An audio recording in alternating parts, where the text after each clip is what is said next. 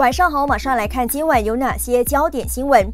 最近缠身的印度籍伊斯兰传教士扎基尔放话点名让五位西蒙领袖跟他道歉，不过被点名者坚决说不。明天就是八幺八反莱纳斯集会，但主办方至今仍未获得关丹市议会批准集会的地点。香港示威活动持续延烧，继民众号召以眼还眼的示威行动之后，警员亲属连线也将会在本月下旬举办还警于民的集会。更多国内外新闻详情，一起来看八月十七号的百格大事记。晚上好，我是嘉炫。新闻开始有争议性人物印度籍伊斯兰传教士扎基尔的消息，纵然已经被传召问话，但扎基尔依旧摆高姿态。报警发律师信，点名五位西蒙领袖跟他道歉，并且需要做出赔偿，否则会在法庭跟他们对簿公堂。对此，行动党副主席古拉就表示不会向扎基尔道歉，并告诉对方在法庭上见。另外四名当事者也跟古拉一样持有相同的立场，并强调不畏惧扎基尔的投报，并且会配合警方的调查。接着来关注莱纳斯的新闻。内阁集体同意让莱纳斯延长营运执照长达六个月，引起坊间的不满。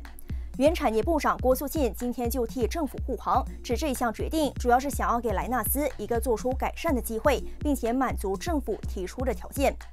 而即将在明天上演的八幺八反莱纳斯集会还未获得关丹市议会的批准。彭亨关丹景区主任莫哈莫诺助理总监提醒主办方，如果没有获得批准，就得另外寻找新的集会地点，否则就是非法集会，将会受到对付。对此，主办方拯救大马委员会主席陈文德今天就指出，该会已经在两周前向关丹景区总部以及关丹市议会提出申请，只是关丹市议会至今都还没有回函批准场地的使用。不过，陈文德并不担心，他认为哥罗勒公园属于公众场所，只要是公民都有权。力使用，因此他呼吁关丹民众勇敢地站出来，不能够逆来顺受，任由西蒙政府厚颜无耻的大优转，要让西蒙政府看看明天的好戏。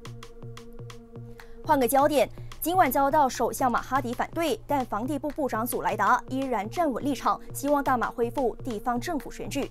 他认为马哈迪反对可能是因为不太了解地方选举机制的可能性，但身为房地部部长，他的立场是应该恢复地方政府选举，并且有责任说服首相。祖莱达说，当局正在研究修改相关的法令，并且会参考其他国家的地方选举机制，一旦拟定适合马来西亚的模式，他们就会在年尾提呈给内阁。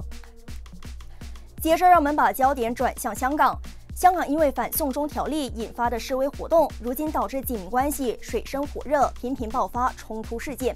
继示威者在机场发起了以眼还眼的示威行动之后，由警察家属组织的警员亲属连线，周五公告，将会在本月的月底举办还警于民集会，并提出了五大诉求，促请政府能够全面的成立独立调查委员会，以及成立警民沟通平台，恢复警察的公信力，避免让警察成为政府的棋子。另外，香港一连串的社会事件也让不同的行业受到冲击。第三季或许会进入经济衰退阶段。香港财政司司长甚至形容，香港已经挂起了三号风球，可能会在技术上进入经济衰退阶段。最后，跟你分享一则好消息。青体部长塞沙迪今天宣布，五级加里尔国家体育场将于每个周六以及周日上午七点至十点开放给公众跑步，并且会继续努力争取开放青体部旗下的运动设施，让白天因为工作没有时间运动的民众也能够在放工之后做运动。而首相马哈迪的专业今天也贴出了一段他老人家骑脚踏车的视频。九十四岁高龄还能够如此的坚持不懈，你有什么理由不起身动一动呢？新闻结束之前，带你去看一看这段视频。